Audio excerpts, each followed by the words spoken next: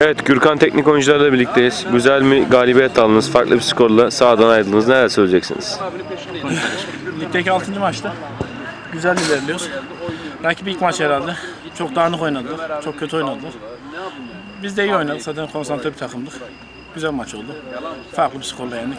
Herkesin ayağına sağlık. Evet Gürkan kaptan sen neler söyleyeceksin? Herkese teşekkür ediyorum. Özellikle Recai kardeşime teşekkür ediyorum. Bugün doğum günü olduğu için kırmadan çağırdım ve geldi. Gerçekten teşekkür ediyorum arkadaşıma. Evet bana etme. Ee, bütün oyuncuların ayaklarına sağlık. Teşekkür ediyorum herkese. Güzel bir maç oldu.